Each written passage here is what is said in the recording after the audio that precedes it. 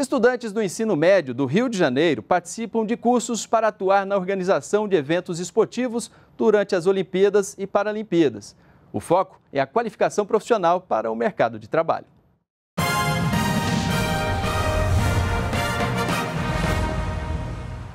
Para entender de esporte aqui, não é preciso ser bom de bola, mas ter atenção e criatividade. A gente fez um cartão postal que a gente vai estar cada um é, dando o seu pro outro, né?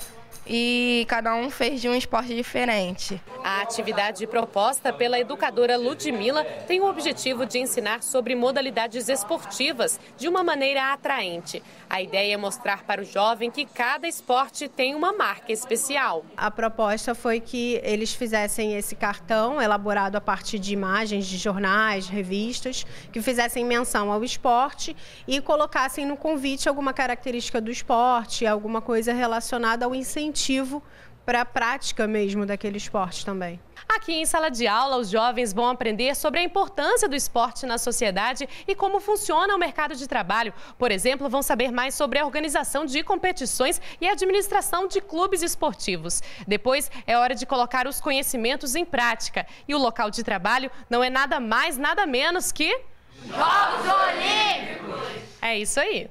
Essa é a proposta do programa Jovem Aprendiz do Desporto, uma parceria entre o governo federal, prefeitura, Comitê Rio 2016 e empresas que atuam na cidade. Elas financiam o salário desses jovens né, durante o projeto, esses oito meses de projeto.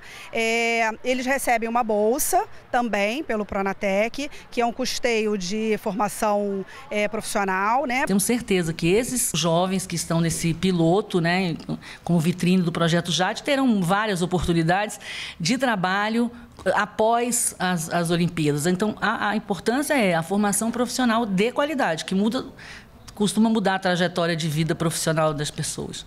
Mais de mil jovens entre 18 e 24 anos passaram por uma seleção com psicólogos para preencher as 450 vagas. O interesse pelo mundo do esporte foi fundamental. Quando eu tinha em média 7 anos, eu comecei a jogar golfe.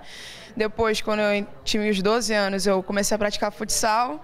E hoje eu estou tentando né, entrar no rumo do kickboxing. As aulas teóricas começaram em maio e seguem material específico, preparado especialmente para o jovem aprendiz.